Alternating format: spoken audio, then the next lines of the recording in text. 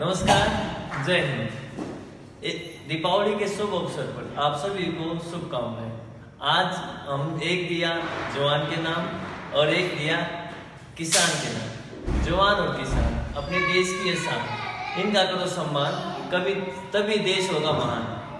मेरा भारत महान जय हिंद, जय भारत।